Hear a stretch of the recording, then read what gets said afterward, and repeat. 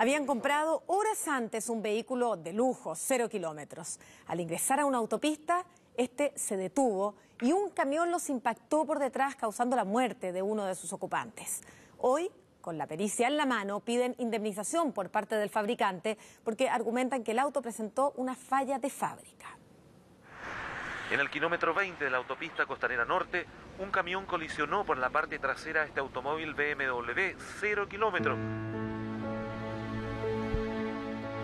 Ese día en la, tarde recibo un, llamado telefónico en el cual me dicen que, habían tenido un, accidente, que en ese accidente había muerto mi esposo y que mi hijo estaba muy, muy grave, que estaba al borde de la muerte él también. Hay un día en el calendario que marcó para siempre la vida de María Soledad, el día que su esposo falleció en un trágico accidente automovilístico. Y de ahí ya empezó nuestro, nuestro calvario, nuestro, nuestro sufrimiento, porque perder en un momento a tu esposo, al papá de tu hijo, y también teniendo a mi hijo muy grave, es como que es una pesadilla. Y que... Pesadilla que se ha arrastrado por años.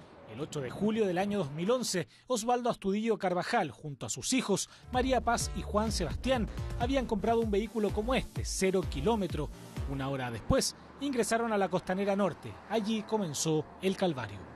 El vehículo repentinamente empezó a, perder la velocidad y se detuvo.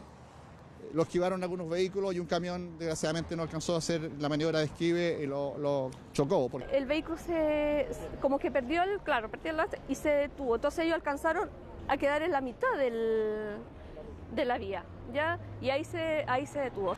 Siendo impactados de lleno por este camión, Allí murió Osvaldo Astudillo y su hijo prácticamente tuvo que aprender a caminar de nuevo. Nunca entendieron por qué un auto nuevo como ese se detuvo en plena autopista. Hasta ahora, cinco años después, tras revelarse una pericia que culpa a una posible falla de fábrica. El vehículo presentó una falla de refrigeración.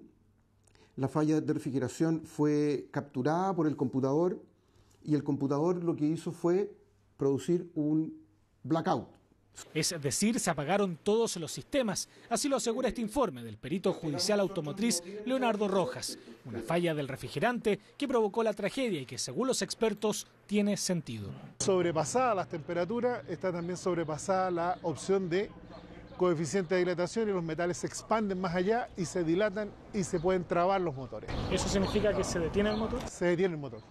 Se puede llegar a detener el motor. ¿Tiene sentido? Sí, por supuesto. Nosotros nos pareció que eh, se sostenían claramente los elementos para acreditar la responsabilidad de la, de la marca BMW. De ahí las acciones judiciales que ya tomaron, según este experto. En todo caso, fallas como estas no serían para nada comunes. Digamos un vehículo de esa marca, no es por hacerle propaganda a la marca, pero es difícil un vehículo que tiene tantas certificaciones de calidad proviniendo de esa fabricación es difícil que le pase, pero no es imposible. David Osvaldo, ningún dinero, nada, lo va a devolver.